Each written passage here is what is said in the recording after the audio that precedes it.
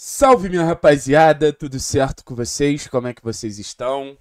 Gente, quero ter um papo sério aqui com vocês, um papo meio desagradável, mas acho que ao mesmo tempo um papo muito necessário, porque tudo que a gente presenciou hoje não foi à toa, tudo que a gente presenciou hoje não foi do nada, tudo que a gente presenciou hoje foi com muita intenção e uma intenção que eu acho extremamente negativa, né?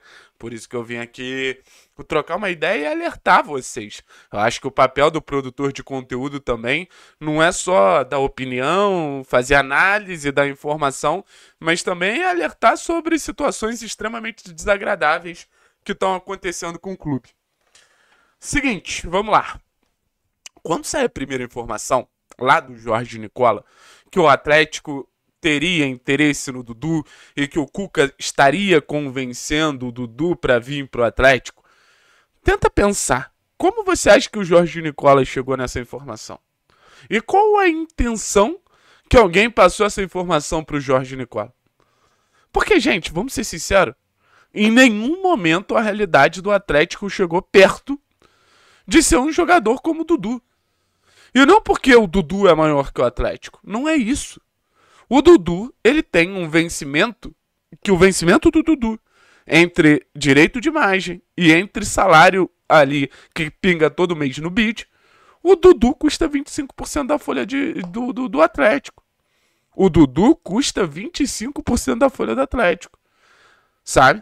Então, assim, ah, mas tá em baixa. Ah, mas tá lesionado. Ah, mas tá aquilo. Aí você vai ligar pro staff do jogador e fala com o staff do jogador staff do jogador quase dá risada da tua cara.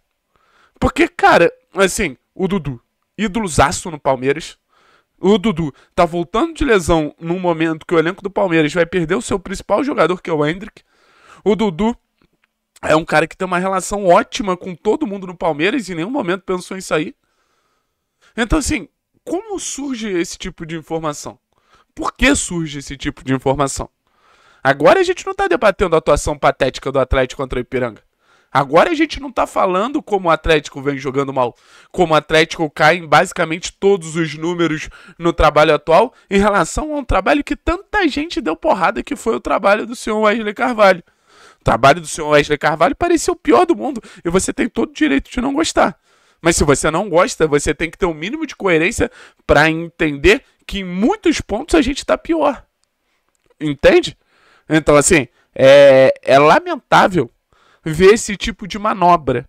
É lamentável ver que tem gente dentro do clube criando cortina de fumaça. Hoje a gente presenciou uma das maiores cortinas de fumaça que eu vi no Atlético. Aí, óbvio, o torcedor, ele quer ver um Dudu vestindo a camisa do Atlético. O torcedor quer ver um Rony vestindo a camisa do Atlético. Eu também quero, sabe? Mas no final das contas, vender um cenário irreal pra gente ignorar um cenário que é super real, que é o Atlético jogando mal, é mau caratismo. É mau caratismo. O torcedor não merece isso. Porque eu acho que de alguma maneira isso não passa de enganar o torcedor. Sabe? Usar a emoção do torcedor, a expectativa do torcedor, todo o roteiro que vem sendo criado de investimento de 100 milhões, de superávit, de venda de Bento, para alimentar um sonho que hoje ele é irreal. Sabe? Ao ponto do Petralha se reunir com Cuca não é para chegar num denominador comum em valor de jogador. Pro Petralha se reunir com Cuca para deixar muito claro, a gente tem um limite financeiro. E a gente falava isso desde o Cuca chegar, antes de o Cuca chegar. O Atlético iria abrir mão de toda a política financeira de tantas temporadas porque um técnico está chegando agora? Óbvio, pode aumentar o investimento como aumenta a cada janela. Mas contratar um jogador de um milhão é uma ruptura muito grande de tudo que vem sendo planejado há muito, muito, muito, muito, muito tempo. Aí você também tem o caso do Rony. Pô, tu mexe no coração do torcedor, cara. Tu tá falando de um ídolo, um cara que fez gol recente de um dos maiores títulos da história do clube. Isso não é legal, cara. Não é legal, volto a dizer. Ah, mas a imprensa. Ah, mas sei lá o quê. A imprensa pode até comunicar que, que existe um interesse. Só que só de existir um interesse, só de fazer o clube perder tempo, porque desculpa, ficar com papo de Dudu e ficar com papo de Rony é perda de tempo. para mim já está extremamente errado. Para mim não deveria acontecer. E volto a dizer, ninguém é maior que o Atlético, gente. O profissional pode ser o maior vitorioso do mundo. Ninguém é maior que o Clube Atlético Paranaense. Para criar esse tipo de, de, de cenário, para criar esse tipo de picuinha, para criar esse tipo de, de, de, de, de questão desagradável. É muito desagradável ligar para o empresário e ouvir, porra, é impossível o jogador vir para o Atlético. Porque, cara, tá se vendendo uma realidade que não existe. Mesmo com o SAF, o Petralha já deixou claro. A ideia do clube vai continuar sendo é, de revelar jogador, de descobrir talento, lapidar e vender. Eu sei que muitos querem que o Atlético tenha um mercado agressivo, quero que muitos tenham um, um, um mercado potente. Mas no fim das contas, meu velho, mas no fim das contas, a realidade ela é outra. E quando você tem uma realidade, ou você abraça uma realidade, ou você fica revoltado dando murro na parede. A realidade está mudando a cada temporada. Lembra em 2021 como era nosso mercado? Era mercado de 5 milhões, 4 milhões de reais. Hoje a gente já faz contratação de 20, de 25. Hoje a gente paga salário de 400, 500 mil. Antes não passava de 100, 140, cara. Então, assim, acompanhar o processo que o Atlético está vivendo no mercado da bola, acompanhar o processo que o Atlético está vivendo de se solidificar financeiramente ao ponto de fazer grandes investimentos, é algo que o torcedor ele precisa entender passo a passo. Se o torcedor não comprar esse passo a passo, vai ser sempre um processo frustrante. Por quê? Porque essas cortinas de fumaça vão continuar aparecendo, porque vai ter muito profissional entendendo que, que pode enganar o torcedor do Atlético. E no final das contas, não pode, cara. Não pode. Volto a dizer, absolutamente ninguém é maior que o Atlético para ficar criando esse tipo de cenário, esse tipo de picuinha.